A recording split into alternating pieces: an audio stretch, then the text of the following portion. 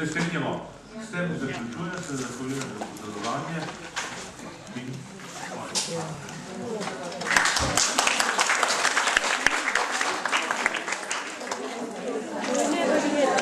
To je nemogoče. Ti si še, jaz sem še kar zdaj obstala in jaz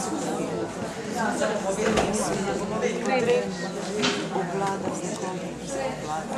Kar jasno. na današnji prvi sekciji, ki smo jo pomenovali razvijanje pismenosti v sodobne svetovne literarne prakse. In v okviru te sekcije smo si zadali kar nekaj ciljev in s tem namenom tudi povabili eh, predavatelje, ki se bodo danes vrstili po redu, kot imamo tu zapisano. In sicer najbolj vsi, ki delamo v izobraževalnem sistemu na različnih ravneh, ugotavljamo, da so težave pri mladih z obrazovanjem knjižne norme. Vprašanje je, so te težave večje, kot so bile nekdaj. Če so, zakaj, kje so vzroki? Eh, So vzroki različni v drugačnih branjih navadah kot nekoč, so vzroki v različnih načinih komunikacije, tudi predvsem seveda sodobne spletne komunikacije in sploh vse tehnološke, vezane na, na tehnologijo, sodobno tehnologijo. No in tu se postavlja vprašanje, če so to vzroki ali in kako doseči, da bi eh, pravzaprav iz teh problemov naredili eh, mogoče rešitev, se pravi, ali se da uporabiti tudi recimo sodobno tehnologijo, da in pa seveda druge eh, možnosti, ki jih imamo danes na voljo, za to, da pravzaprav spodbudimo mlade, da bodo tudi knjižno normo eh, obvladali, vsaj tako, kot menimo, da bi morali za določene eh, namene.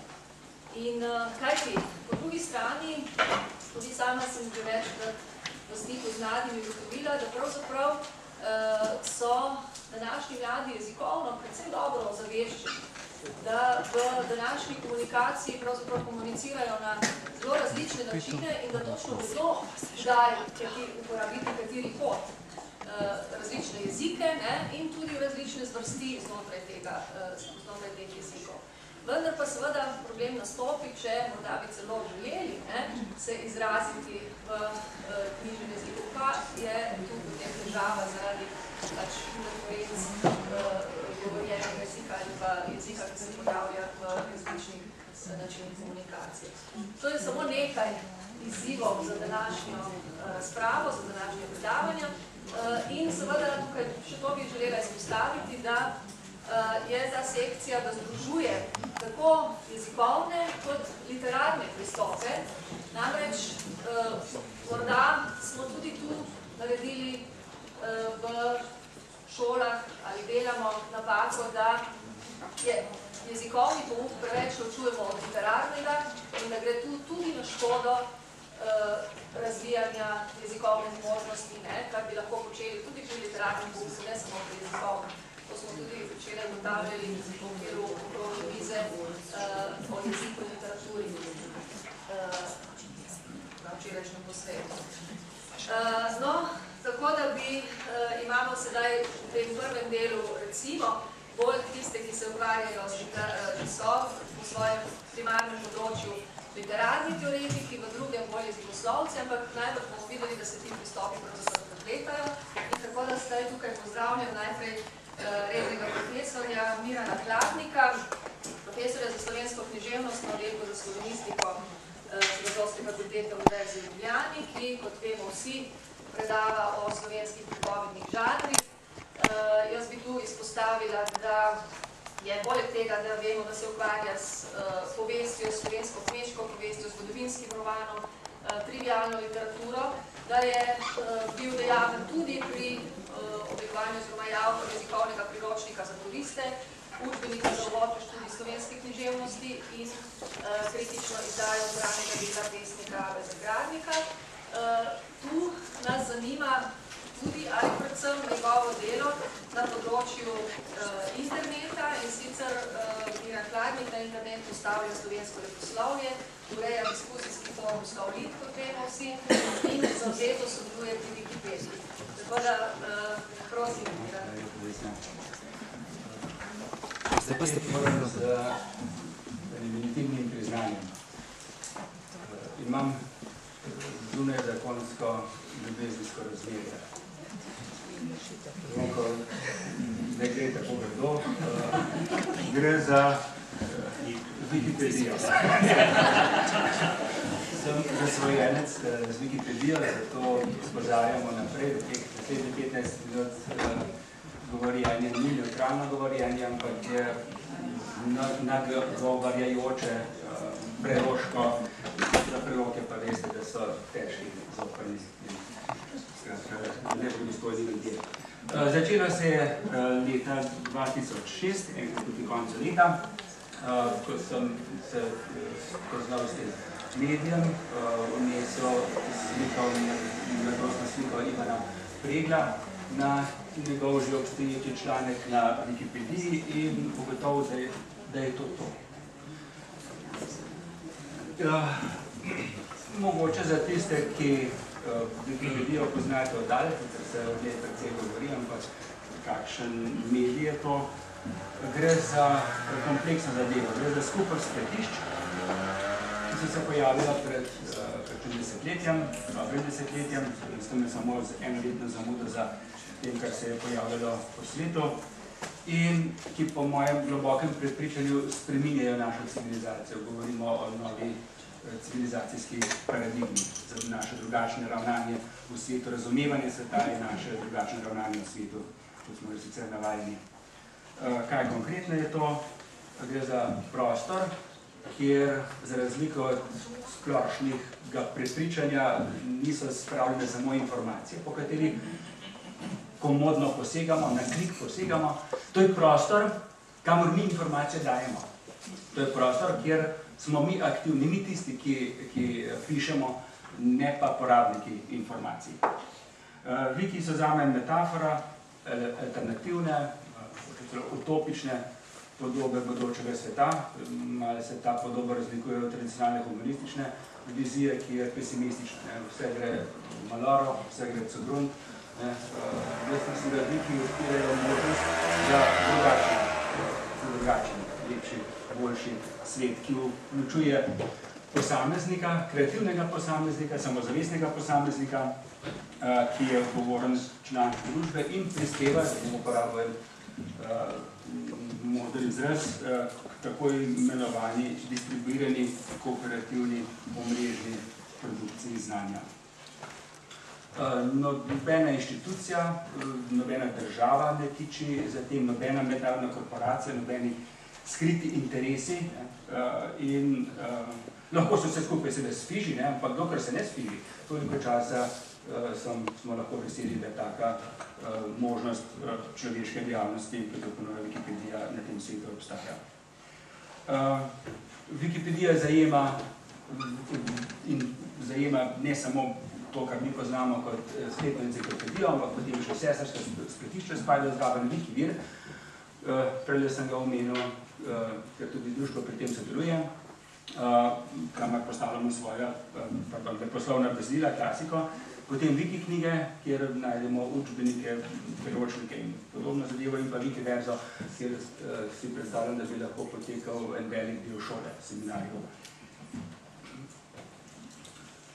Zakaj se Wikipedija, zakaj je Wikipedija tako pomembna v tem našem svetu, se potrjuje vsak dan znova, ravno včeraj, ker včerajšnji sem nekje prebral, kako je to zapravo indikator civilizacijske razvitosti. No, že nekaj časa pa obstaja Wikipedija tudi kot ena izmed glavnih meril za merjenje vitalnosti jezikov. Potem, koliko smo na Wikipediji prisotni, se predvideva, koliko časa bomo še kot jezik, kot kultura na tem svetu. Uh, v tem, uh, skratka, to ni zanemrljiv, ime je smešno, Viki, ne, kot da bi nekdo, Merlado, ali kaj se to sliša že, Kremes, ne, imel zelo pravno, zadeve so pa usodne, za tem smešnim imenom se skrivajo strašno usodne zadeve. Slovenščina je trenutno na 38. mesto, kar je boljše, kot mislim, da so ekonomski kazalci. Uh, je pa to mesto bilo že precej više. Ne? Mislim, da 20. ali 23. mesto je bilo, ko sem sam vstopil vanjo, ampak je normalno. Naše normalno uh, mesto je tam pri 150, toliko je približno glede na uh, količino ljudi, ki jih se razložuje v tem teritoriju pod na južni strani Alp. Torej, eh, tam ne nekje na koncu smo, ne? te statistike se sproti ažurirajo, prispevajo k agilnosti eh, wikipedistov, eh, to je prostor novodobnega kulturnega tekmovanja. Ne? Ali bomo imeli wikipedijo, če bomo imeli, bomo preživeli jezikovno kulturno, če ne bomo imeli, potem smo izgubljeni v, v digitalnem svetu. Je še kakšen drug svet razen digitalnega? Ne vem, ne vem.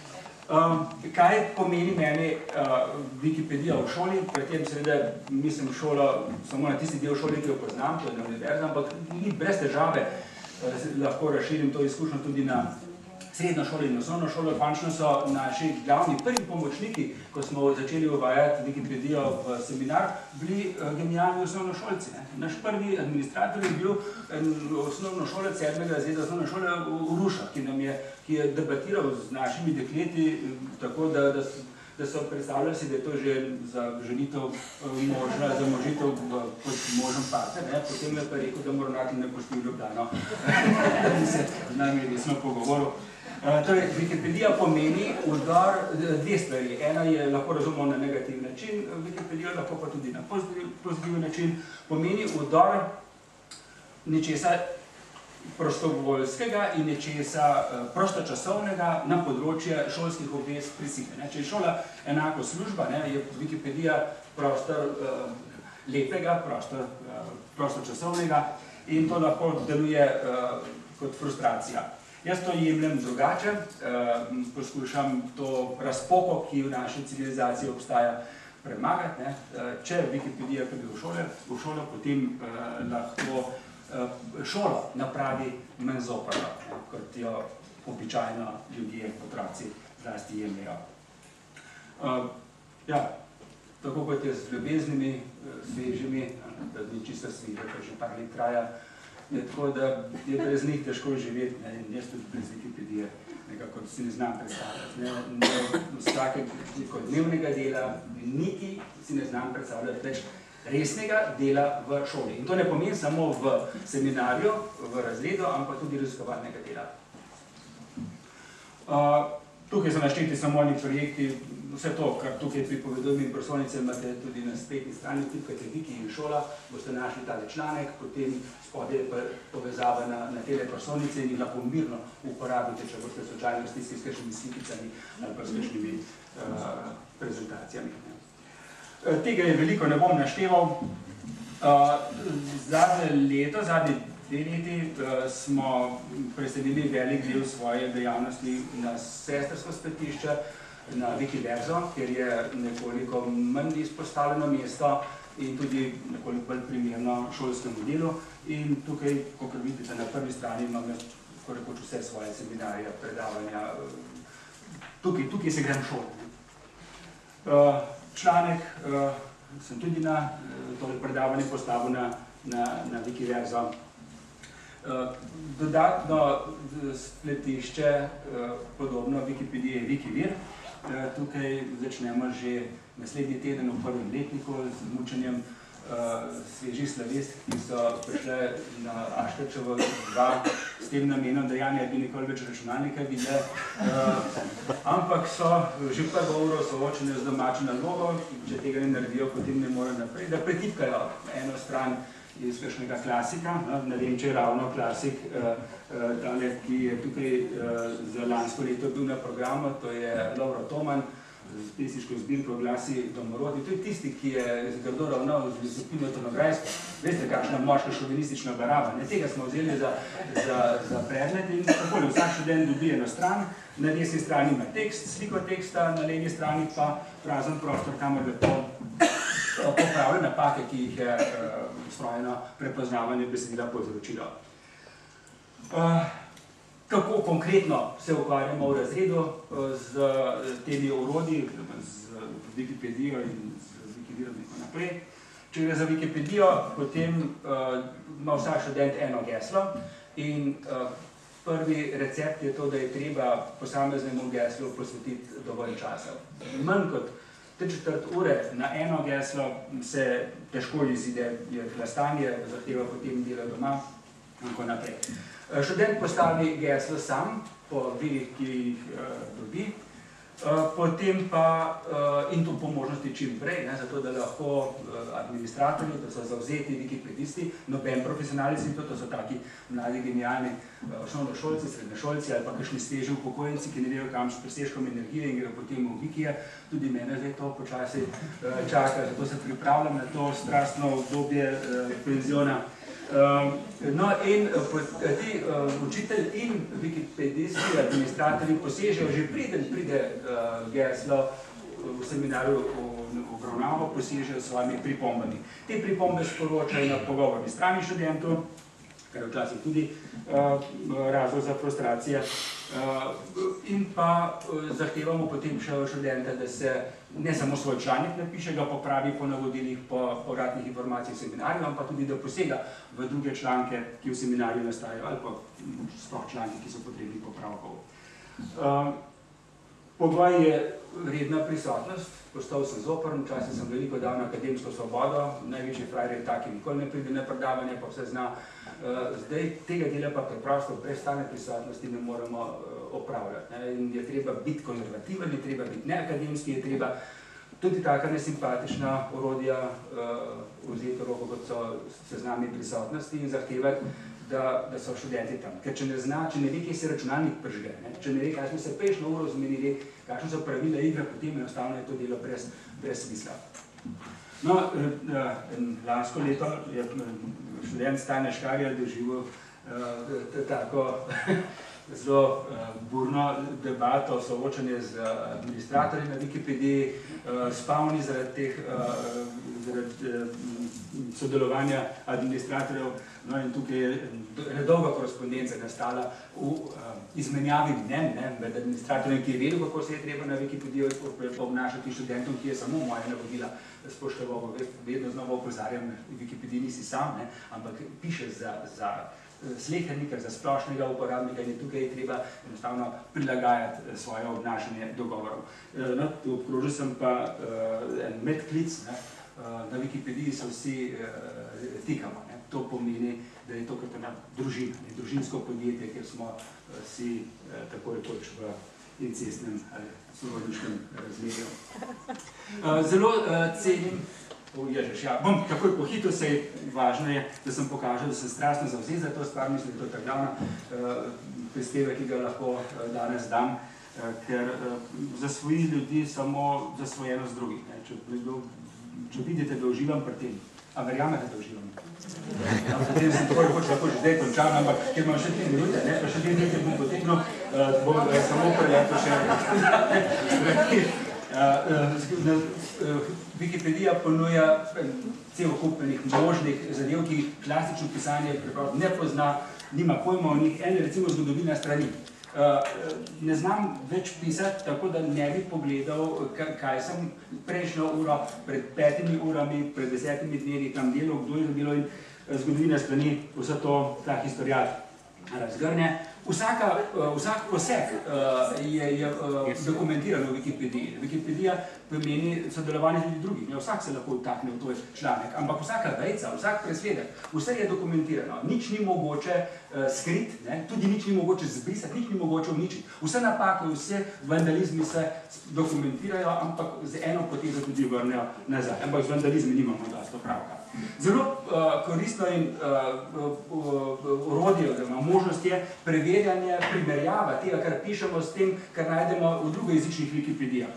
Ponekod je to samo, uh, recimo pri kakšnem uh, kaj s tem, uh, Borisov pa trnuje, bo samo slovenski članek, ker za angleži ni toliko zanimiv, ampak recimo pri priložnostnem knjižništvu je pa že, so pa že štiri, je pa že štiri, pet uh, uh, jezikov udeleženih, ponekod jih je pa 40-50, ne? ali pa celo 280, koliko je jezikov vseh na Wikipediji.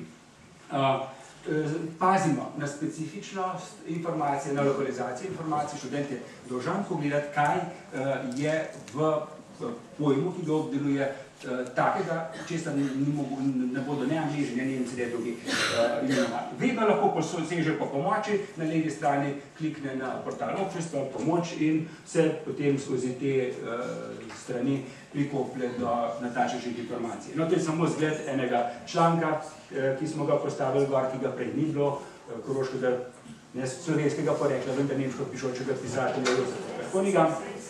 No, kaj priporočamo šoli, če se boste lotevali, uh, uh, uh, več možnosti imamo, kje začeti seminarsko delo z Wikipedijo. Lahko gremo samo po rdečih povezavah, po rdečih linkih v tekstu, to pomeni, da so nenapisane gesla. Kliknemo in če nas zanima tisti pojem, začnemo nekaj pisati. Najprej en stavek, potem dva, postopoma ta zadeva raste. Ne? Drugo so seznami preferenčnih gesel, ki jih Wikipedisti navajajo, Tretje so potem uh, članki, ki so označeni kot škrbina, ki že obstaja, je modro, ampak imamo samo eno vrstico, mi bi pa radi še informacije več. In potem še uh, seznam gesel, to je posebej za nas, ki so potrebni lekture, posebna skupina obstaja, kliknemo, dobimo šlampaste uh, izdelke, kjer je treba vejce popraviti, velike začetnice, osnovne slogovne uh, napake in tako naprej. Zdaj pa samo še grem skozi Nič minut. Aha. Torej, samo še skozi, samo deset točk, to kot je približno čistih, ja, natančno toliko je tudi, če se že zapovedi, ne? No, kaj uči Wikipedija? Jedrnatega izražanja za, za našo stroko naravnost blagodejno, ne? Ker, ker smo obremenjeni s tem, da moramo veliko govoriti, da je v stilu, da je v stilu pravi, pravi užitek, ne pa v sporočilu.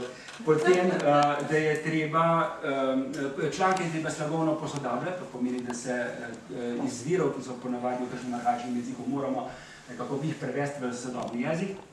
Upoštevati moramo namembnika, to sem že povedal, past moramo na neutralnost poročila, ker imamo informacij več, posebej v takem pluralnem času, ne v takem enoumno, kot ga Slavistično društvo izkazuje, ki vedno glasuje za 100% vsi za enega, ne, nobenega, ni samo en se vzdržil včasih.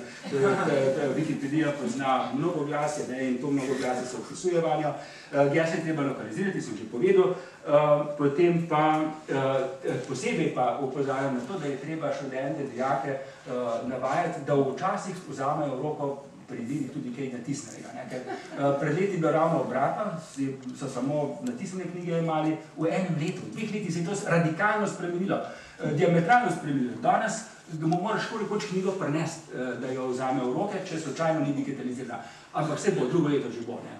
Uh, Potem je treba, no, ne bom, ti boste si pogledali te zadeve, kako je, čar Wikipedije v povezavah, v klikih, ne, ki nam širijo obzorja in kažejo, kako tekst ni nekaj zaključenega, kot so učili stari, ni nekaj harmoničnega, organskega, ampak je tekst nekaj, kar vse čas nastaja, kar se vse čas spreminja. Nimamo dokončnih zadev. Ne? To je tista življenjska izkušnja, ki jo Wikipedija daje in ki mislim, da veliko bolj ustreza svetu, ki nas obdaja, v katerem živimo, kot pa šola, ne? ki nas uh, uči, kako je vse lepo v okričih, ne? ni okričih. Sklep, Uh, Viki so od drugih računalniško podprtih oblik vede, ki jih poznate, ker se v šoli veliko bolj uh, propagirajo, to so spletne učilnice, elektronske table in kaj še podobnega, ločijo potem, da vanje lahko posega kdorkoli. In ravno to je tisto življenje, ki gre v šolo in ki ljudi sili, v šolo sili, da se obnaša tako, da je življenje primerno. Da ni geto, ne? da ne znamo samo za šolo, ampak da delamo uh, tako, da bo koristi vsakdanjem življenju. Uh, če bo koga zanimalo še kaj več prebrati, potem na koncu tega članka dobi še serijo linkov. Tako, uh, hvala lepa za pozornost.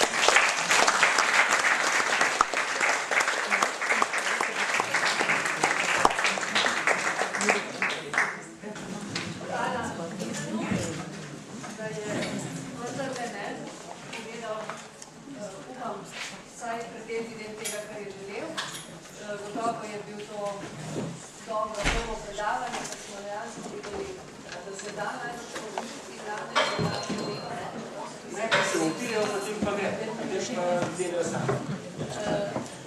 In eh, pozdravljam dr. Mileno, Mileno Blažič, ki nam bo predstavila referat naslov razvijanje kulturne mišljenosti iz podjetja literarne prakse.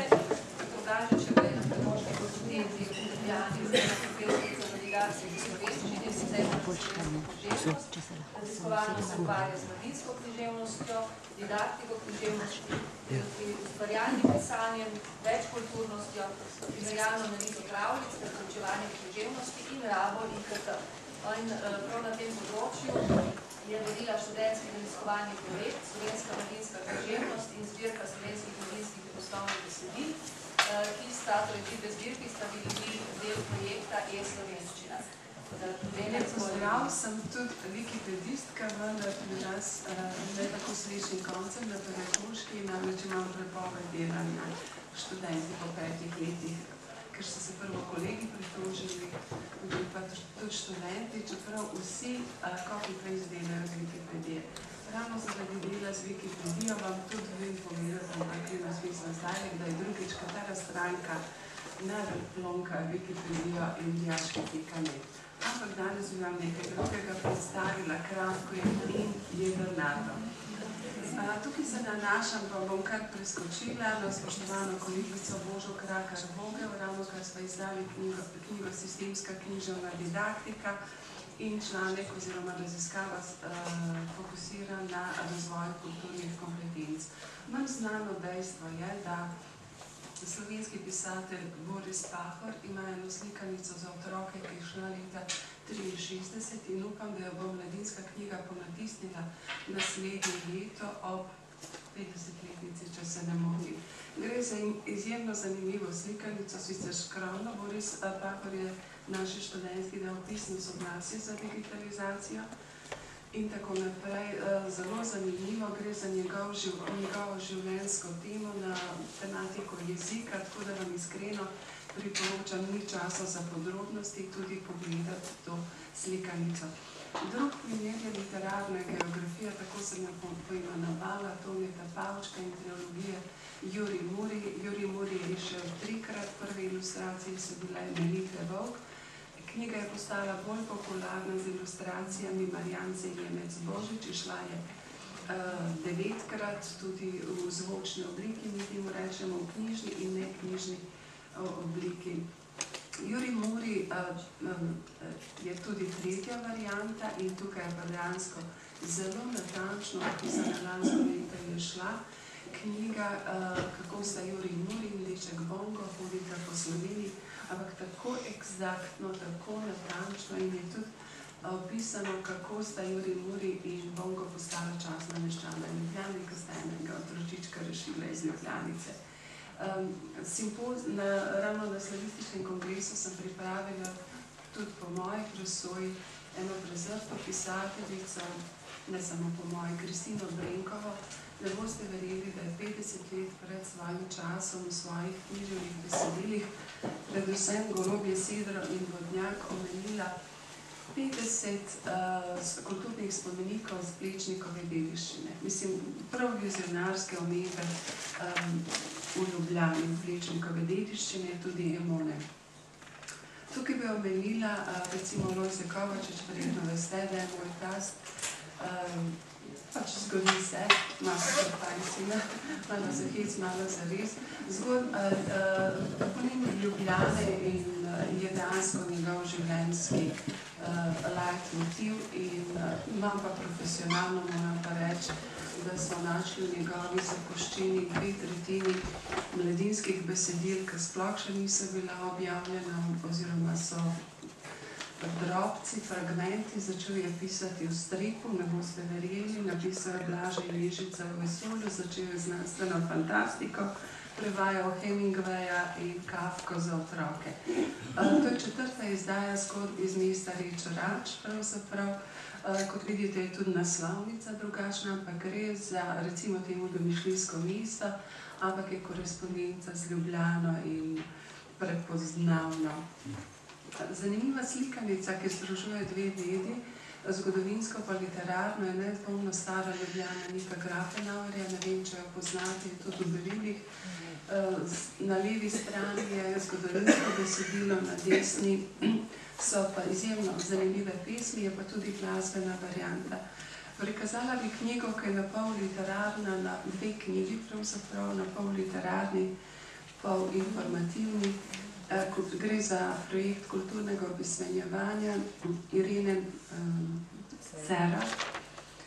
Eh, Pravlične poti po Sloveniji in pravlične poti v, zgodovino, izjemno zanimiva knjiga, zemljevidi, eh, skoraj kompas, da je zraven priložen, tako da bodo šli tudi na geopedijo, da bodo učenci hodili z GPS-eri ali pa z iPhone. Izjemno zanimiva slikanica je pa tudi primer sitovske umetnosti, uh, avtorska slikanica Andreje Peklar, fant z rdečo kapico, mogoče bi pokazala recimo Sitolo zvač, ki je najdena in potem je Andreja naredila resnično zelo uh, tudi lično oblikovano slikanico, ki se odpre kot leporelo oziroma kot harmonika, tudi z rdečim trakom, kar je vse skupaj resnično pomenljivo. Ne boste verjeli, da sem mu, ki je napisala vrhunsko slikanico Kokoš Velikanka, ki temelji na literarni geografiji in zgodovini Slovenije, kako je oblika bežeče kokoši podobna a, zemljevidu Slovenije, ampak tako subverzivno, tako inteligentno, da vam iskreno priporočam, da preberete. Ni časa za podrobnosti. Rozine ali rozine, izbrane pesmi v akciji, mislila sem, uh, iti na YouTube, uh, pa pokazati njegovo pesem, ampak recimo vam iskreno priporočam, da jo doma pogledate. V vodu je Janeš Kov, ki govori uh, v številnih jezikih, zanimivo. In Rozina ali Rozina, izjemna pesem, oziroma kako je nastala človeška ribica, pa celo špafanje je napisano. In uh, za konec uh, nekaj odprtih vprašanj. Jaz sem tokrat pravzaprav nekaj izpustila eh, značilne pesnike, krasa in tako naprej. Bolj sem se posvetila mogoče temi, ki prihaja in to so argonauti. Leto 12 2014 bo prva pisna omemba uh, Emone v pisnih virih. In uh, jaz upam, da nam bo uspelo dati, tako kot smo dali odlomek iz Poprov, uh, v eno izmed beril, da nam bo uspelo tudi mogoče odlomek iz Argonautov dati. Tukaj imamo tudi povezavo. Argonauti ne bi bili v Ljubljani v 13. stoletju pred našim štetjem, ne bi prenesli ladjo, razstavili in prinesli iz Ljubljane v Koper. Ne glede, a je mit ali resnica, je zagotovo vredno pouka. To bi bilo vse.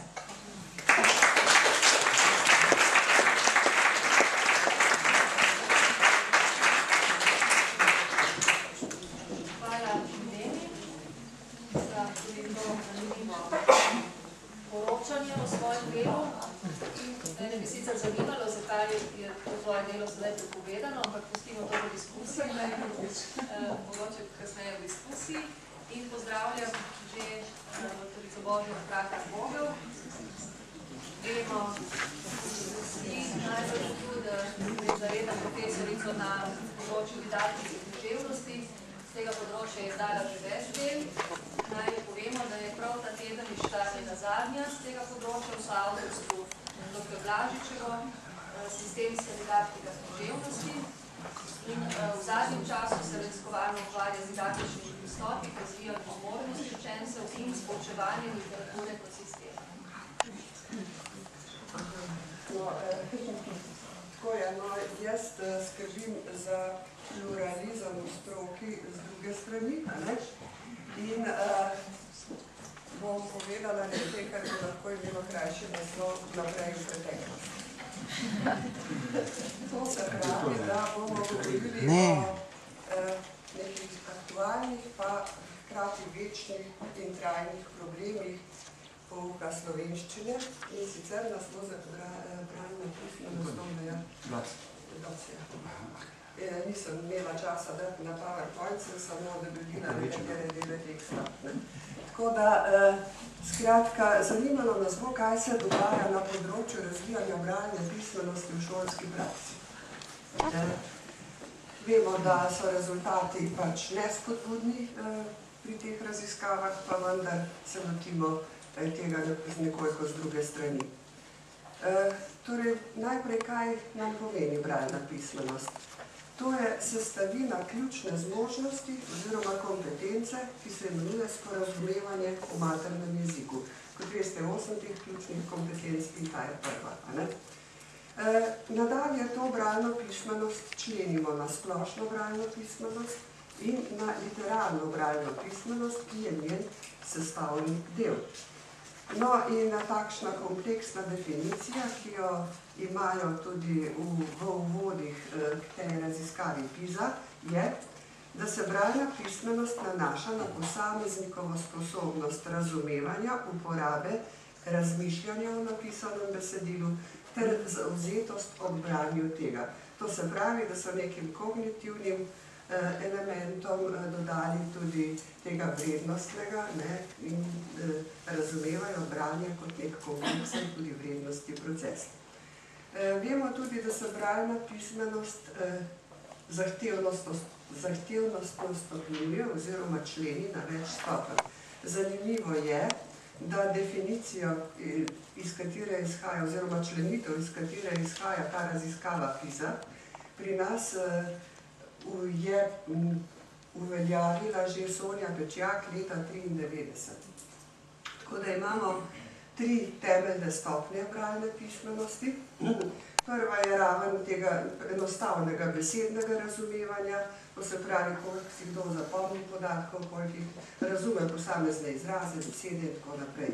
Druga je nivo interpretativnega razumevanja, to se pravi, da je treba nekaj povzeti, ne? Redukcijsko sklepanje, da je besedilo naslov, obnovi, nariši miselni vzorec, skratka eh, poznavanje in razumevanje vsebine. No in tretja raven je tako imenovano kritično, ustvarjalno branje in uporabno razumevanje, kar pomeni, da zna beroči uporabiti informacije v novih primerih, ustvarjalno preoblikovati, vrednotiti, z nalogami primerjaj, oblikuj na osnovi besedila in tako naprej. No, eh, ali eh, mi te ravni eh, upoštevamo v učnih načrtih. Kot vidimo, je teorija nastala že prej, zdaj pa me zanima, kako je z učnimi načrti. Ugotovili smo, da ja, da ja, da so med cilji tako v osnovnošolskih kot v srednješolskih zapisane vse te ravni eh, torej bralnega razumevanja kot cilj. Eh, Zanimivo je, da nacionalna strategija za razvoj pismenosti, eh, nek sicer opevan, ampak v predalu pozabljen dokument, ki načrtuje, kako naj bi še slovencev pismenjevalo. Torej, ima za konec osnovne šole predvideno nižjo raven splošne pismenosti, kakor jo ima učni načrt. Kritičnega razumevanja, vrednotenja namreč ta nacionalna strategija za 14-15 letnike še ne predvideva, učni načrt pa predvideva tudi vrednotenje in tudi, eh, in tudi eh, pač kritično branje. Tako da, eh, skratka, učni načrt te pogoje daje. Ali daje tudi za literarno branje pogoje? Namreč taksonomija eh, spoznavno sprejemnih stopenj branja se pri literarnem branju nekoliko razlikuje.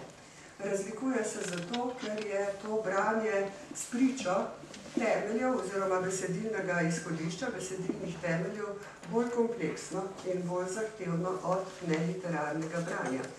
Eh, Namreč eh, ta besedila, kot vemo iz definicije literarnosti, zaznamuje večpomenskost, fikcijskost, diskurzivna tujost.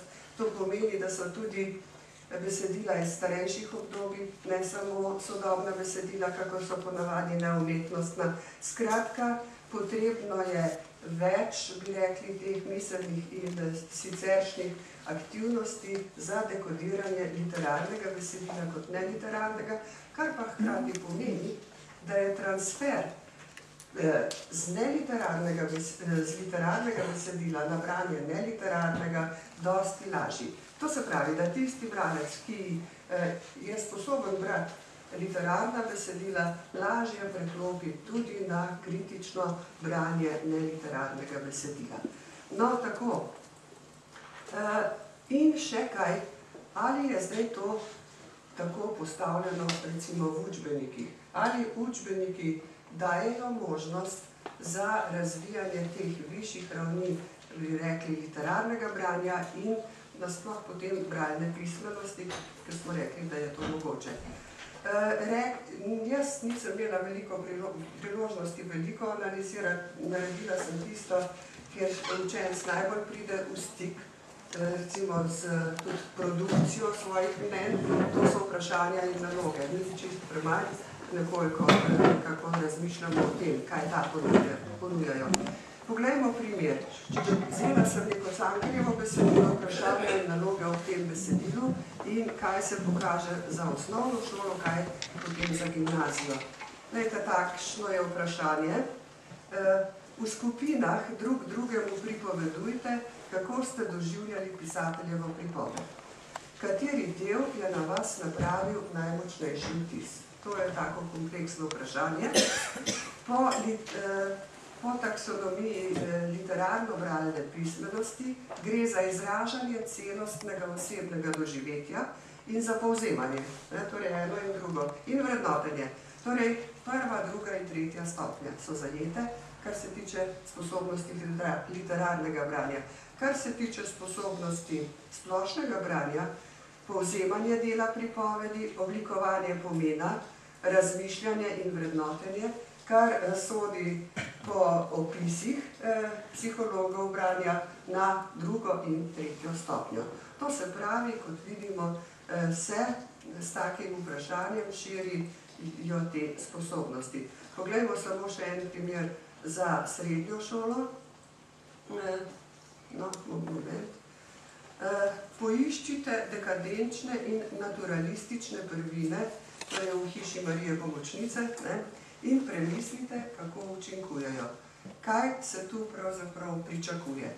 Pričakuje se torej neko legitimno početje v tekstu, ki se imenuje analiza posameznosti, a ne, z uporabo nekega specifičnega znanja in literarno vrednotenje, torej povezovanje, eh, kako eh, se vam zdi, da te prvine učinkujejo. No, pri, eh, litera, pri splošni bralni pismenosti pa je opis tak, priklic informacij z rabo specifičnega znanja in vrednotenje, kritično branje, torej prva stopnja in tretja stopnja. Skratka, vidimo, da gre skoraj pri vsaki nalogi za eh, razvijanje več stopenj bralne pismenosti, tako splošne kot literarno bralne. Ko sem še nekoliko poanalizirala te, ta vprašanja v učbenikih, sem odkrila, da je pravzaprav še najmanj samostojnih vprašanj za izražanje literarnega doživetja. Torej, da ni toliko tistega, kar nam po eni strani pedagogi učitajo, eh, če ste brali Justinovo razpravo, da je samo doživljanje pri literaturi in da je to narobe, da je to cokla bralni pismenosti. Po drugi strani pa bi nas kolegica Grossmanova zato gotovo kritizirala, da zakaj pa ni vprašanj o doživetju, ampak to je tako, da so ta vprašanja vse čas vključena v tista kompleksnejša za višje ravni pismenosti.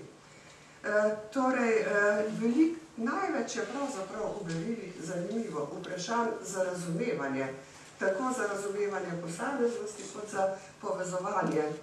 In prav na tej ravni so naši srednješolci po ugotovitvah dodatno še neke diplomske naloge, kolegica Ane Čakš, torej so naši eh, dijaki najslabši. Ne? Eh, kaj zdaj to pomeni? Bomo videli kasneje. Eh, učitelje sem potem še intervjuvala, kar precej učiteljev, kako recimo razvijajo pismenost pri pouku eh, literature in pri pouku jezika. Recimo, pri enem in drugem pravzaprav uporabljajo zelo pester nabor spodbud ne, za splošno in literarno bralno pismenost. Pri literaturi vsi spodbujajo izražanje bralčevega doživetja, vrednotenje besedil, poleg tega seveda, da govorijo tudi o razčlenjevanju in tako naprej. Tisto, kar sem jaz nekoliko pogrešala, je aktualizacija literarnega teksta. Torej, eh, odgovor na vprašanje, kaj pa ta tekst prinaša meni za današnji čas, skozi katera vrata lahko vstopam v identifikacijo. Torej, eh, teh vprašanj učitelji niso navajali v svojih odgovorih, zdaj ne vem, ali je to slučajno, ali se niso pač opazili, da to spada zraven. Ne? No, eh, pri jeziku, pri pouku jezika pogosto obnavljajo, prepoznavajo tema, besedila jezikovno in tvarno razčlenjujejo, pretvarjajo iz ene obide v drugo, skratka tudi cela vrsta teh strategij. Nihče ni omenil usmerjanja učencev k reševanju vprašanj v berilih. Prej smo videli, da so ta vprašanja zelo kompleksna, torej kaj zdaj to pomeni. Nihče ni tudi omenil, da spodbuja učence k učenju razlag.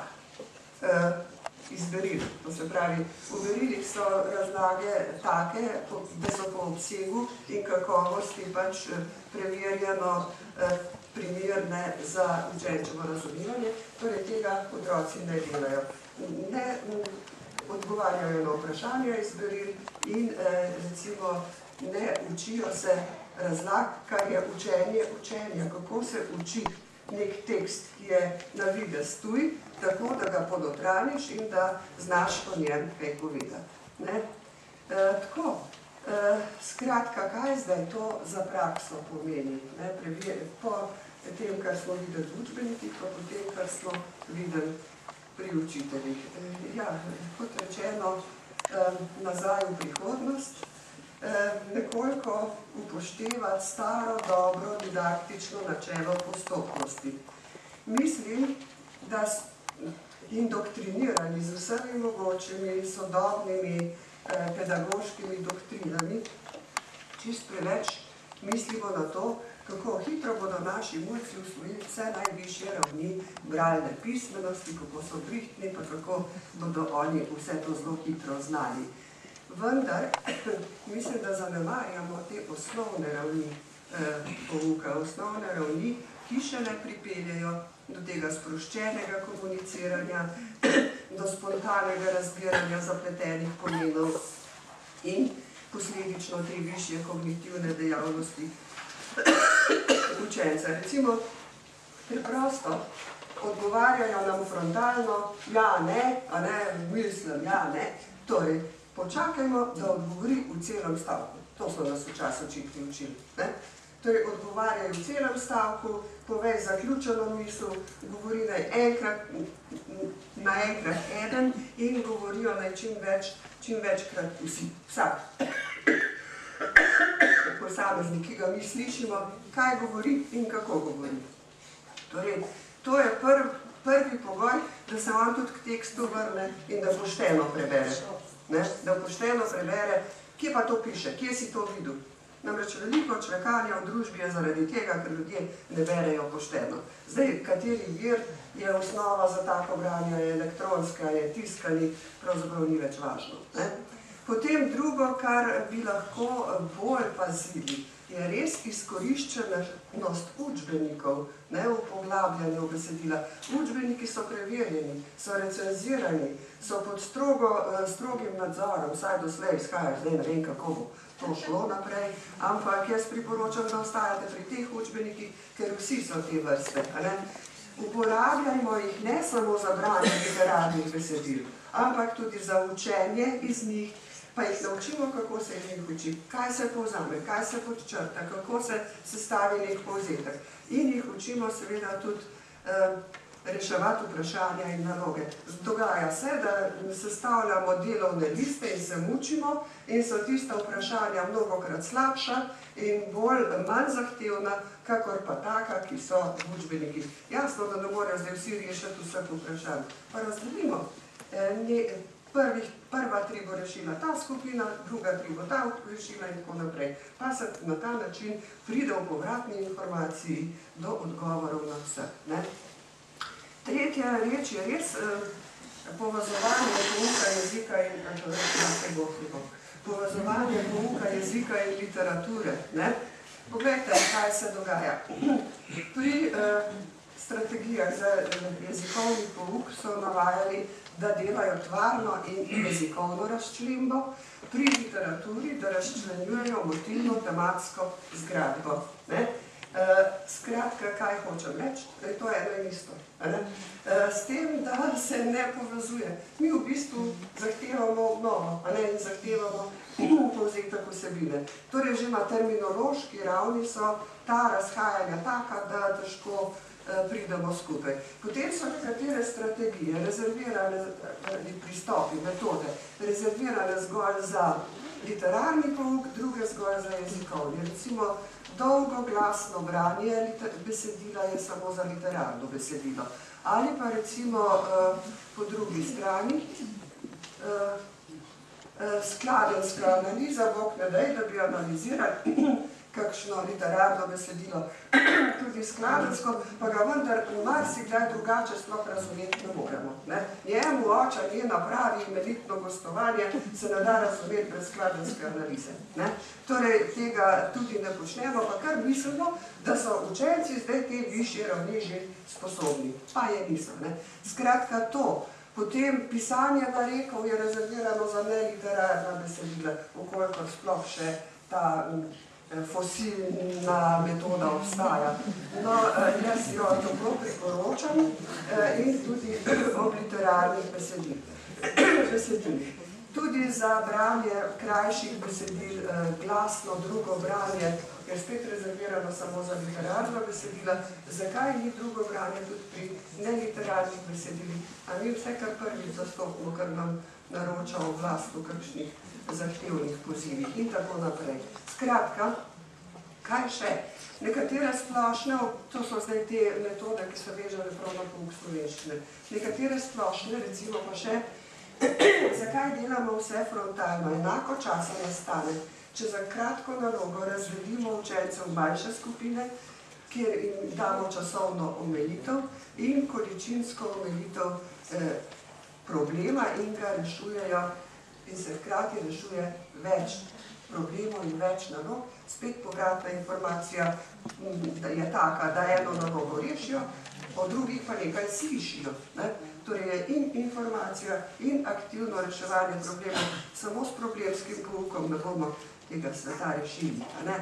Potem so tu še recimo redne domače naloge, ki se redno preverjajo, koliko časa oziroma koliko zlatih rezerv imamo pri domačih nalogah, ki se ne dajejo, ki se ne preverjajo. Skratka, to so nekatera taka priporočila, ker časa ni več, bom zdaj nehala, pridite na kakšen seminar, tam bomo pa 4 ure o teh rečeh lahko govorili. Hvala lepa.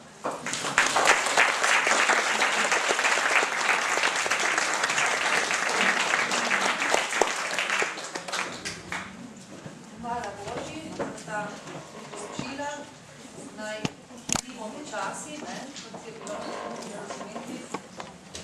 In mi moramo pa žal pohiteti, zares, ne, da ujamemo nekako stav zadovoljnik in pozdravljam tu svojolico Jožo Dve, ki je profesorica slovenščine na šolskem centru Novo mesto, kot doktorantka profesorstvom Bože Karta Vogel izvaja predstavo o razvijanju ključnih zmožnosti pri književnem pouku v gimnaziji, ukvarja pa se tudi z raziskovanjem šolskega literarnega kanona v slovenskih zgodovini od sredine 19. stoletja do danes. Hvala lepa. Bom poskušala res pohiteti, čeprav bi lahko o tem eh, govorila kar dolgočasno. Eh, torej, literarna brana pismenost, mogoče bi za začetek eh, povedala samo to. Eh, naša naloga, naloga slovenistov je, da literarno brano pismenost.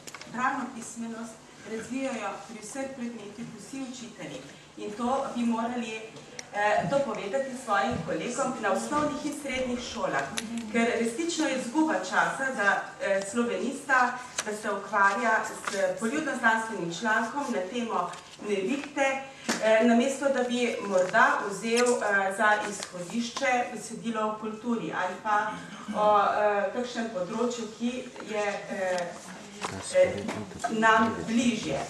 Eh, sicer pa eh, moja naloga je, da predstavim svojo raziskavo, torej takole. Eh, Nekatera izhodišča eh, sem tukaj napisala, se mi zdijo pomembna in sicer eh, izhodišča povezana z raziskavami, ki dokazujejo vpliv branje, branja ali poslovja na branje in učne dosežke. To je dokazala PISA, potem tudi druge raziskave.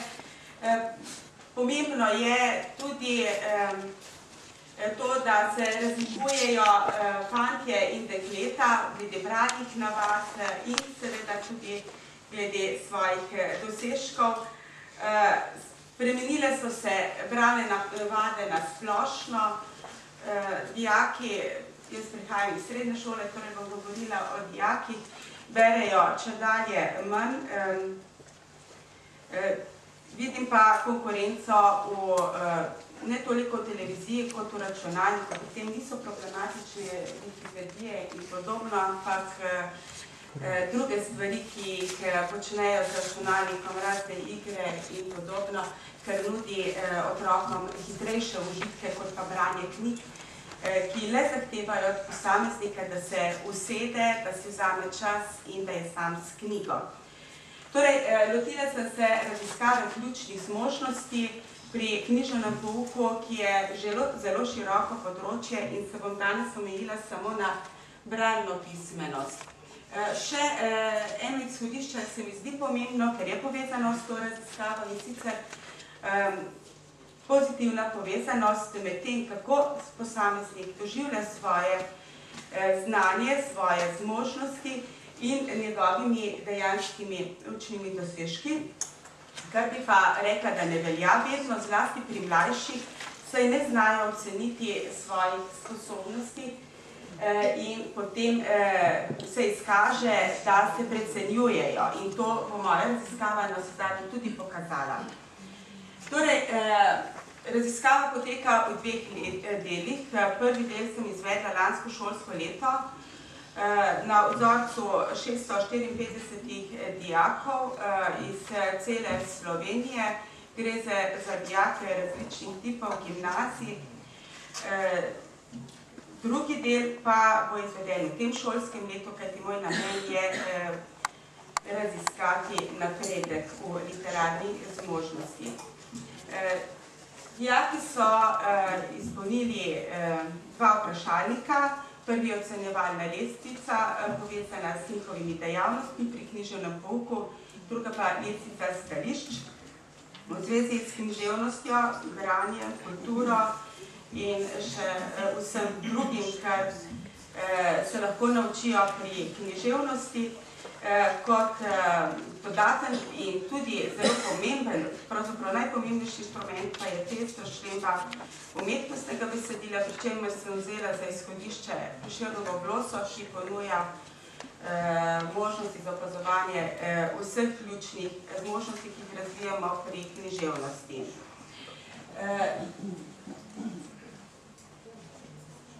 Kaj sem ugotovila in kaj, kaj, kar je pomembno za uh, današnjo temo, uh, dijaki so najvišje ocenili svoje dejavnosti pri uh, povezovanju književnih zvrsti, poznavanju književnih zvrsti, izražanju mnenja o besedilu in tvorjenju neumetnostnega besedila v literarnih besedilih. Vse te svoje dejavnosti so na pet, petstopenski lestvici ocenili več, več kot štiri.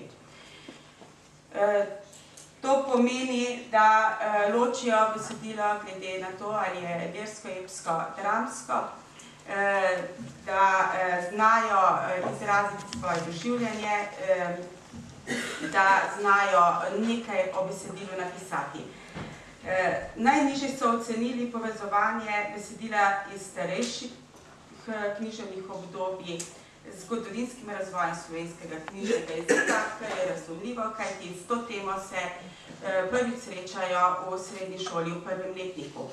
Eh, književne zvrsti so eh, temeljno znanje, ki ga mora učenec osvojiti na koncu osnovne šole. Torej, tam so bolj samozavestni. Države čutijo pri prevajanju besedila iz starejših obdobij v sodobni jezik, kar je tudi razumljivo, kaj ti starejšimi besedili, konkretno s preširnovimi, se srečajo komaj v osmem razredu devetletke. Tako da tukaj so pokazali eh, nekoliko večjo kritičnost. Ko pa primerjamo samo oceno z dosežki na testu, lahko ugotovimo naslednje. Resnično znajo določiti besedilo književno eh, zvrst, ugotovili so, da je glosa lirska pesem, vendar pa eh, je eh, to znalo utemeljiti eh, le eh, os- 35,8 odstotka dijakov. Kaj to pomeni? Predvidevam, da je učiteljem, vsem nam učiteljem, ne, eh, samoumevno, da dijak ve, kaj je značilno za posamezno književno zvrst in tega ne razlagamo posebej. V prvem letniku pričakujemo, da to ni več potrebno. Očitno to ne drži. Eh, ker drugače bi moral biti eh, rezultat boljši.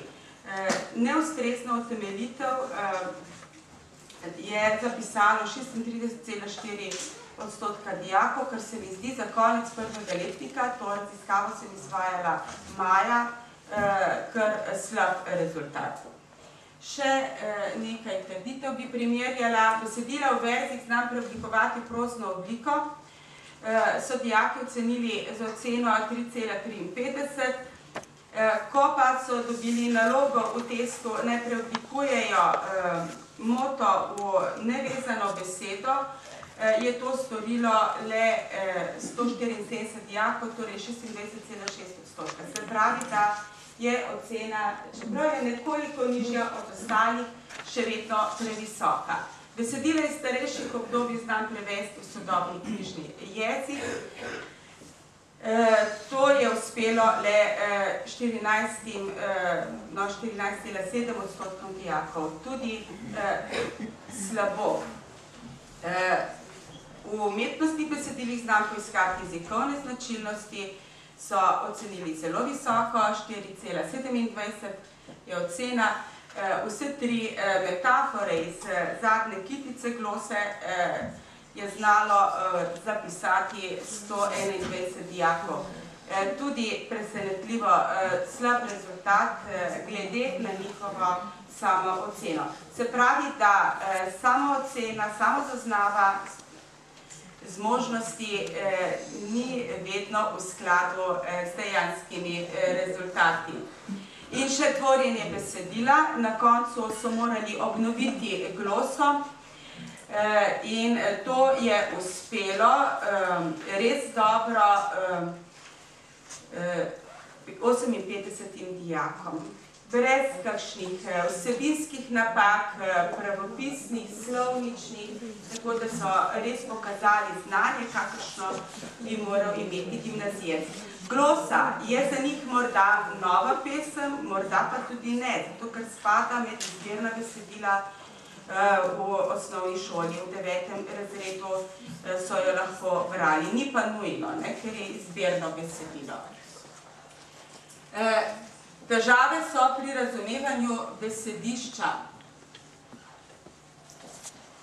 Preširen eh, pravi, hranec moj mu osle kaže in eh, besedo je razumelo 349 dijakov. Eh, Zanimivi so drugi odgovori, recimo Gorenjec, Dolenjec, tudi Kranjčan so pisali, Meščan, Prijatelj in še kaj. Eh, Potem em, nekoliko bolje so se odrezali pri sopomenki za eh, kino, kina Kitajska, Eh, to so vedeli eh, kar, no bi rekla, več kot polovico dijakov. Tudi tukaj so zanimivi drugi odgovori, torej nekateri menijo, da je to dežela, potem so napisali so pomenko neznano, kraj, eh, televizija, TV, ne, krajska eh, domovina, mesto. Torej, eh, to kaže na težave z eh, jezikom, eh, ki, eh, prosim, eh, tudi kulturna kompetenca, seveda. Eh, ja, eh, pre, samo še tri minute? Dobro, bom pa pohitela. Eh, ampak vseeno, ali je pesnik iz Prešernove glose moralen človek, eh, kaj, eh, je besed, kaj pomeni beseda moralen, ne vejo. Eh, vsi eh, zamenjali so besedo realen, ker sem lahko ugotovila iz uh, uh, njihovih temeljitev, realnega.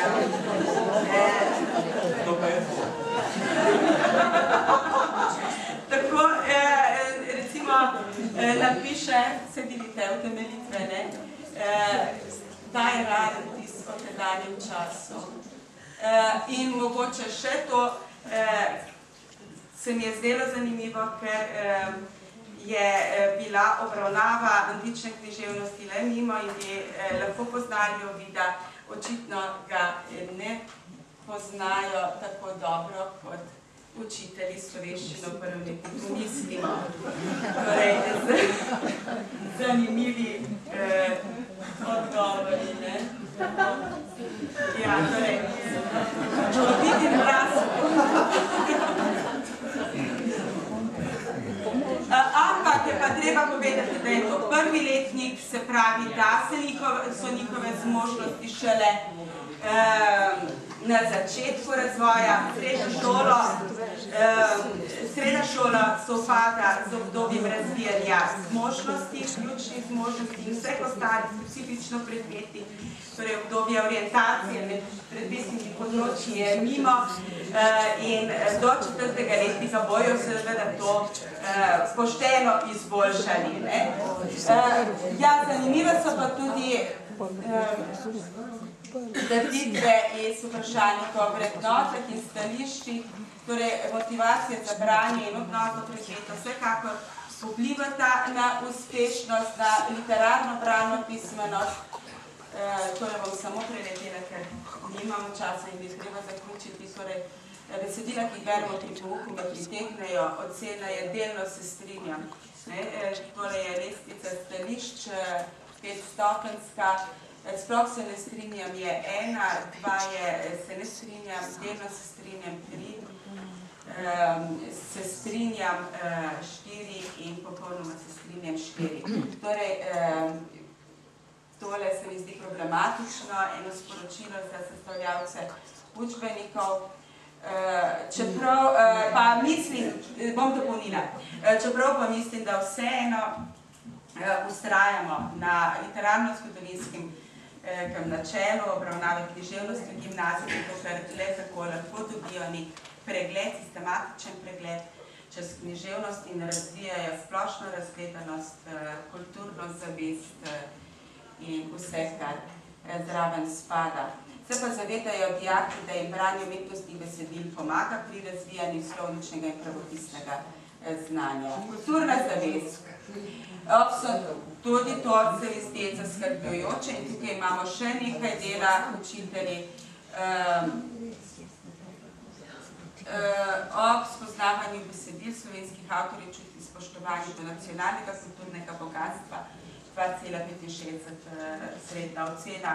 Eh, torej, eh, verjetno bi bilo treba tukaj še kaj narediti.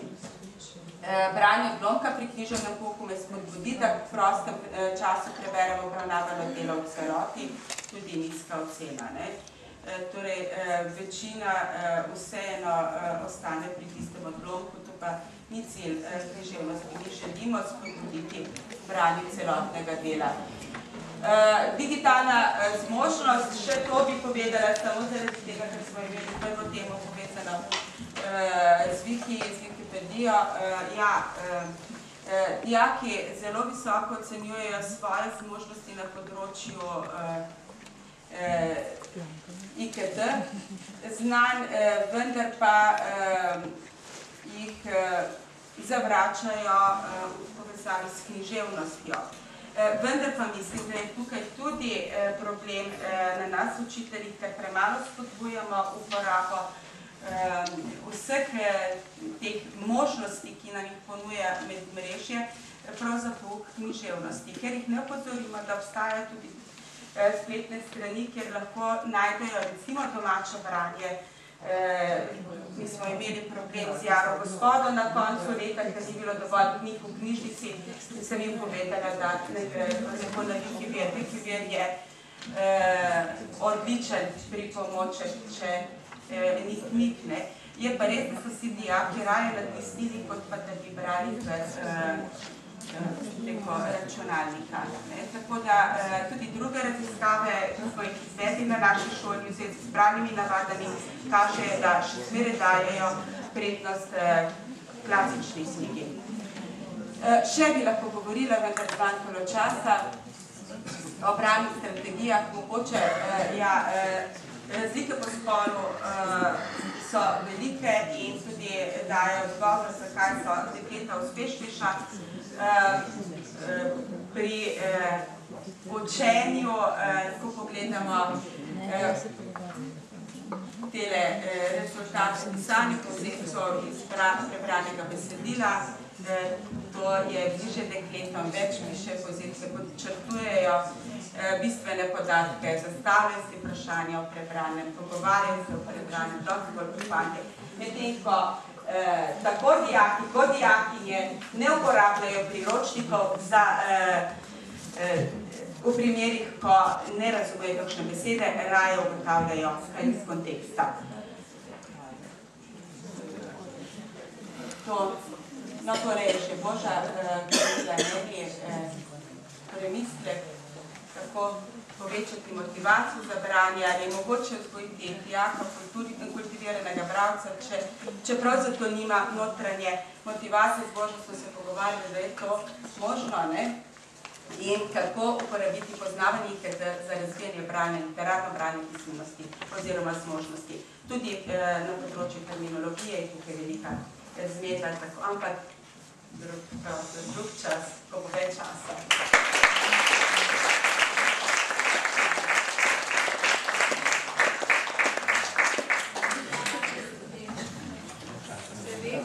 Prelego bi za to raziskavo z terena in uh, meni je bilo zanimivo, da so pravzaprav v naši vladi včasih bolj samozavestni, kot uh, to kaže potem dejanska zmožnost, včasih veljalo, da so slovenski mladi malo samozavestni govorci, ne, mogoče danes že šlo v drugo smer. Ampak kakorkoli, mi smo že prekoračili uh, našo naše zmožnosti za diskusijo, vsaj kar se tiče ure, ampak mogoče kakšno pet minut si še lahko vzamemo, bomo kasneje začeli naslednji del uh, 15-minutnim zamikom, tako da prosim. Ne smemo to priložnost za ljubico zdaj spustiti. Ker imam eno vprašanje. A ni ta ljubica, pravzaprav eh, ljubica, stara ljubica v novi obliki, oziroma v novi obleki? Ker tukaj pri Wiki- Wikipediji imamo veliko opravka s pozitivizmom, z biografizmom in tako naprej. A so kakšne možnosti za kakšno kreativno interpretacijsko eh, eh, eh, derilo oziroma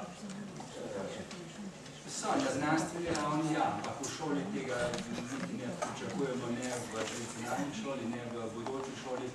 In se mi zdi, da je cilj izpolnjen, če se gremo tega pozitivističnega pristopa. Ne? Torej, da korektno uporabimo vire, znamo prav selekcionirati, kateri sploh pridejo v poštev. In da potem s svojimi besedami ne, to potem reproduciramo eh, na zaslonu. Mogoče zdaj, glede na vse te referate, ki so sledili, lahko rečem še to, da eh, potem vidim pravzaprav eh, glavno spremembo dojemanja pismenosti. Ne več skrbeti za to, da kdo sploh še bere, ker je pisanje tisto, ki je vrednejše in kreativnejše in bolj uh, nagovarja k uh, takemu samozavestnemu, kreativnemu posamezniku, kot pa branje. Branje je pasivno, uh, pasivna dejavnost. Če lahko branje nadomestimo s pisanjem, potem uh, smo en korak naprej. Normalno. Vsako pisanje tudi že vključuje uh, branje, brez branja normalnosti.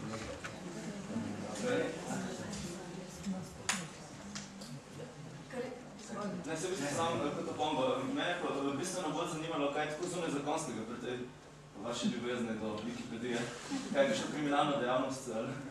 Ne, samo želje, vse smo že navdušeni nekaj tudi za to, za tega tretjo, ne. Ampak ne tako močno, da bi bila nekritična do, tega medija. Je nekaj, kar presega posameznikovo eh, normalno, posameznikovo normalno zna. Samo to sem hotel povedati. Ni bilo metafora zaradi metafore. Andraž, ne vznemite se. Imamo še eno vprašanje? Hvala, moje vprašanje na prvi pogled nima zveze s tem prižužnikom, ampak če bolj premislimo, pa ima. Vprašala bi kolegica Čeh, zakaj mora biti tisto vprašanje o nacionalnem Ponosu. ponosu? Aha, Debeh, še sliše. v zvezi, eh, Z nacionalnim ponosom. aha, eh, ne, se to je v zvezi, jaz, poglejte, jaz sem vam, eh, vprašalnik je dosti daljši, ne, jaz sem izvzela nekatere točke. Ja, gre za- to vprašanje, eh, Zatrditev, aha. da s tem, da, da bereš nacionalni korpus, recimo tako, da si ponosen na svojo Kulturno zavest, za državljanstvo,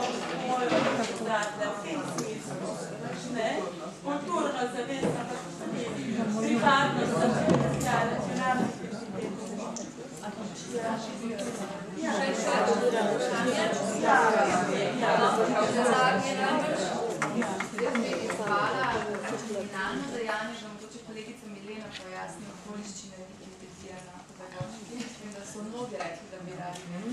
No, a res? Ja. Ja. Zdaj ste me pa spravili za brigo. No, pet let smo delali, mene je navdušil Miran Hladnik, ampak nisem šla v zunaj zakonsko skupnost, ker sem lojalna enemu in edinemu, sicer ne Bogu, ampak skratka, študenti sem malo drugače načrtovala Wikipedijo, ki ima tudi svoje značilnosti. Pri nas je letno 300 do 500 študentov in tako naprej in smo dejansko celotno slovensko mladinsko književno spravili na Wikipedijo. Vse, skoraj vse pisatelje, teh je 300 do 500, samo da pojasnim kontekst. S tem, da je 300 mladinskih, 200 je tistih, ki pišejo za odrasle, pa še za otroke, ali za otroke pa pišejo še za odrasle. In tako sem načrtovala, da bi delali trikrat po tri leta, torej v prvih tri letih prva faza, da napišemo članke, plus na Wikiviru objavljamo besedila, v naslednji fazi izboljšujemo tekste, plus analiziramo znanstvene ali strokovne članke, v tretji tri letki bi pa prevajali najbolj reprezentativne v angliščino. No, na kar, uh, dobili smo pa približno 35 pisnih soglasij za um, digitalizacijo celotnega opusa, recimo Tomaža Šalamuna, Svetlane Makarovič, Milana Dekleve, da sem še jaz bila presenečena. Lansko leto smo imeli na obisku tudi 35 pisateljev med izpiti, a veste, to so se kar sami študenti zmenili. Vse je bilo dobro, edino napako, ki jo imam, jo res priznam, takoj odkrijem, kdo plonka. A veste, skratka, študenti so imeli predstavitev seminarske, biografijo, malo pozitivizma, tudi dobro denje, rodil se je trpel in umrl in tako naprej. Želela sem pa striktno, da citiranje.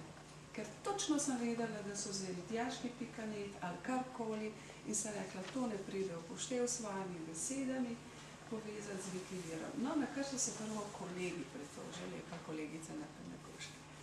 Potem so se baje študenti tudi pritožili. A, a, da ne piše učnem načrtu, vse veste. Saj, Srečo vam, da me niso aretirali. A, veste. In potem, a, ja, vse pač, ne vem, kaj, in je prišlo do tega, da sem v rehabilitaciji na filozofski fakulteti, sem baje dobila štirikrat negativno mnenje študentov, da to ni učnem načrtu, pa da mora, da, a, da sem bogata, da služim.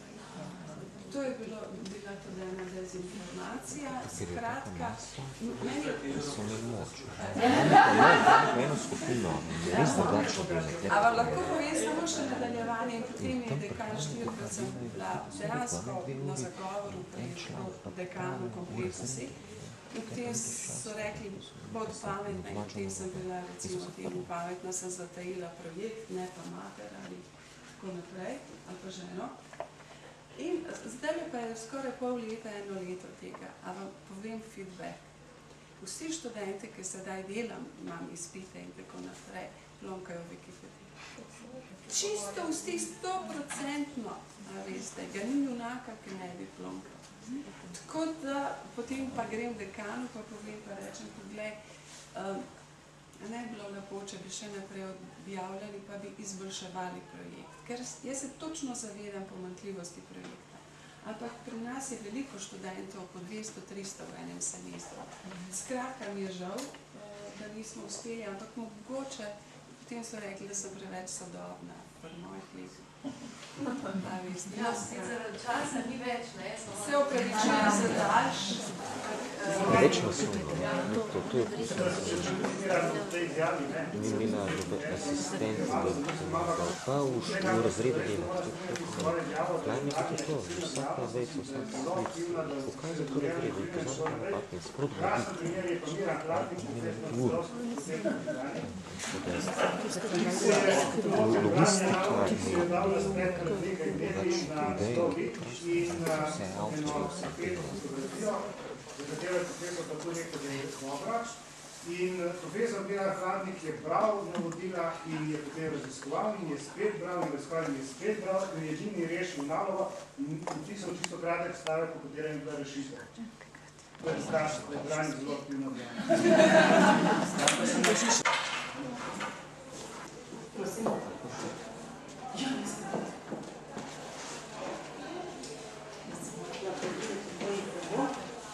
Ja, lepo pozdravljeni.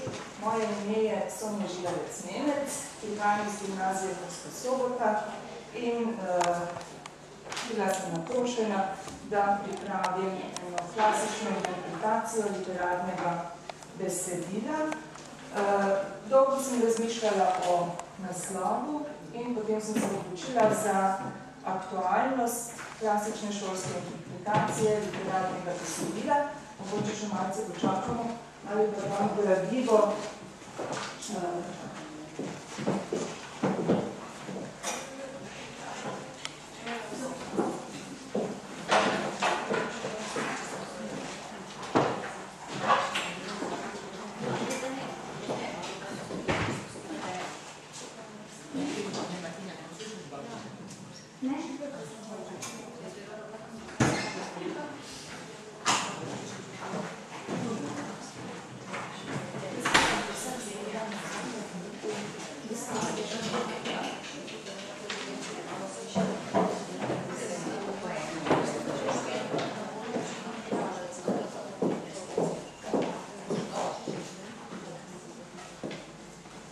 Ja, tako, no, če povzamem.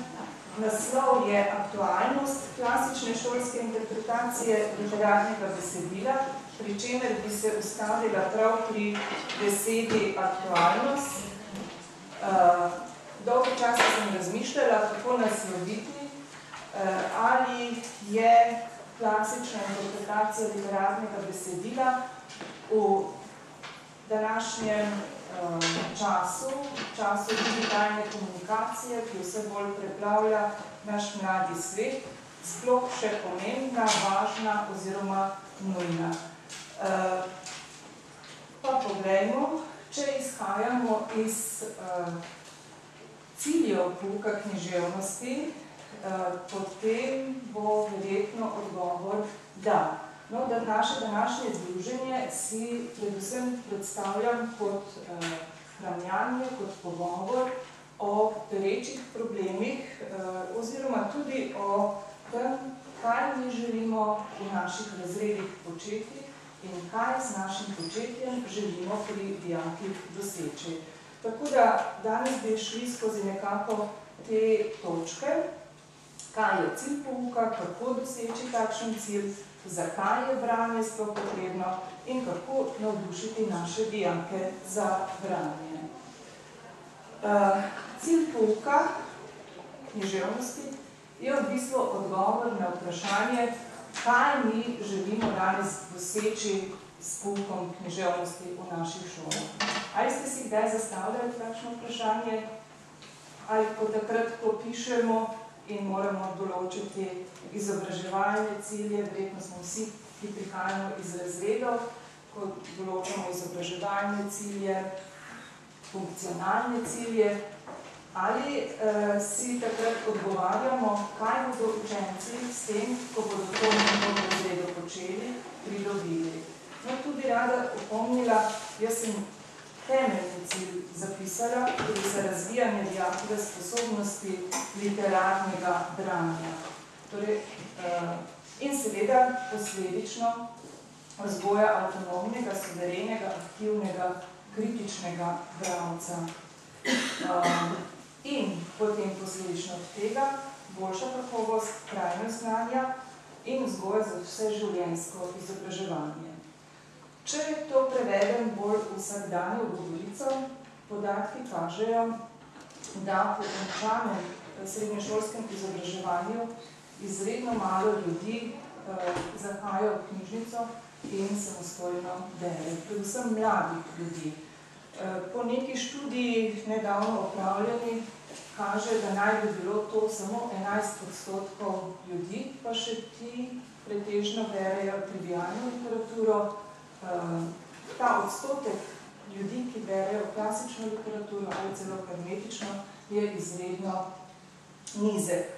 No, in eden izmed ciljev naj bi seveda bil, da bi mi vzgojili take ljudi, ki bi z veseljem šli tudi v knjižnico, si kupili knjigo in v branju tudi uživali. Zdaj bi vas kar vprašala, nekaj pravim, bolj si to predstavljamo, da ste povedali, da naj bo to delavnica. Kaj, si menite, kaj menite, kaj ste si zdaj nekako v mislih premlevali, ko sem o tem govorila? Se bo kdo ujunačil? Cilj je seveda vzgojiti bravca, ki bo literaturo dojemal v vsej njeni pojavnosti, se pravi tako vsebino, kot slog in kot sporočilo uh, same literature. No, mogoče se bomo kasneje bolj ujunačili in kaj spregovorili. Ne? Kako doseči takšen cilj? Zdaj zapisala sem, cilj je že sama pot do cilja. Nisem si te povedi sama izmislila, pač pa sem jo prebrala v enem članku uh, Kineta Logarja, procesni pristop k pouku književnosti, kjer govori, da je potrebno seveda branje učiti v, v srednji šoli, tudi v osnovni šoli, kot proces. Kot proces učenja. Uh, No in po umetnosti še nekaj, zakaj sploh umetnost, ali je aktualno v današnjem času še govoriti o umetnosti, ali kot govorijo zdaj, je potrebno študirati samo še naravoslovje in tehnične zadeve, ali pa je tudi v tem času umetnost še pomembna. Odgovore spet pričakujemo od vas. Ne? Zdaj ni nujno, da poveste to na glas, ampak malo o tem razmislimo. Kaj počnemo pri pouku književnosti? Pogosto pridejo dijaki in uh, želijo, da bi uh, pogledali film o, kakšni, uh, o kakšnem literarnem delu.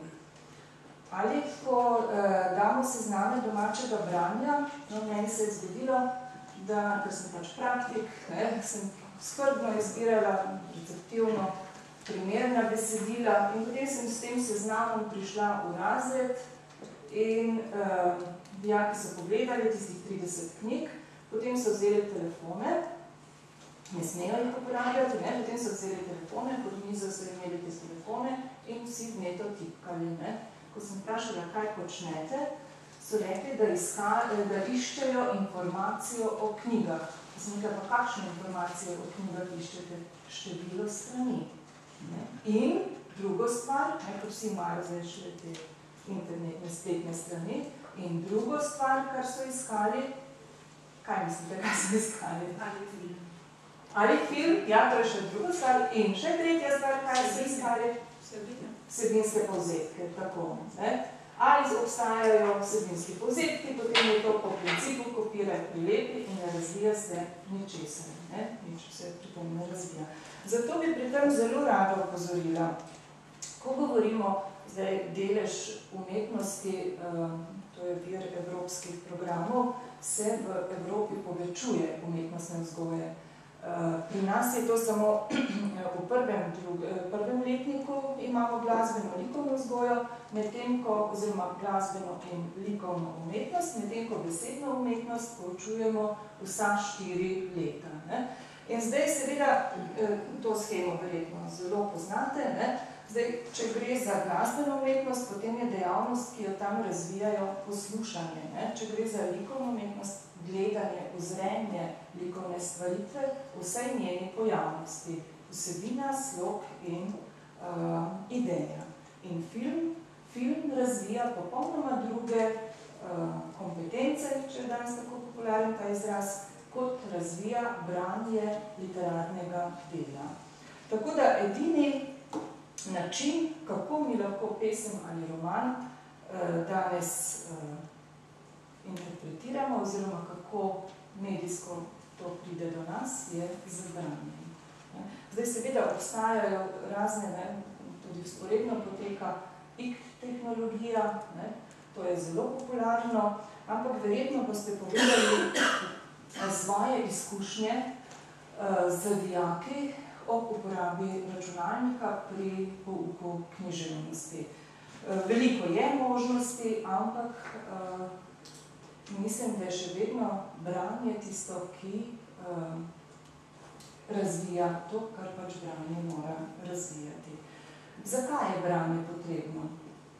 Zdaj, tu bi mogoče spregovorila o tem, da si dijaki, verjetno imate tudi sami kakšne take izkušnje, uh, da si dijaki, ko so utrujeni, ko so pod stresom, ko so skratka, vseh teh uh, hitrih situacijah, instant življenja, včasih zaželijo tudi malce miru.